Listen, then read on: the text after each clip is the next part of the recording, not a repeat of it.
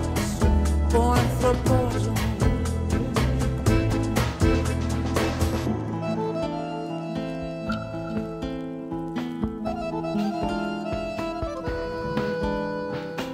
Είναι ένα ερώτημα, είναι μια νέα πραγματικότητα αυτή που δεν το προτιμώ παρόλο που το έχω κάνει και εγώ με τα παλαιότερα μου τραγούδια.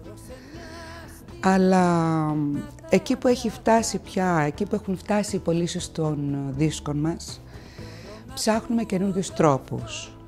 Δεν ξέρω που θα μας οδηγήσει αυτό. Προτιμώ να ζει το δισκάδικο, να μπαίνει ο κόσμος στο δισκάδικο, να παίρνει το CD του, να παίρνει το βινίλιό του και το υποστηρίζω πάρα πολύ αυτό.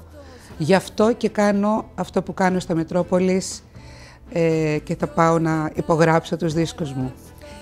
Ε, προτιμώ το δισκάδικο. Ε, γιατί θέλω ο άλλος να την αναζητήσει τη μουσική, να θέλει αυτό να το αποκτήσει και να μην του έρχεται έτοιμο.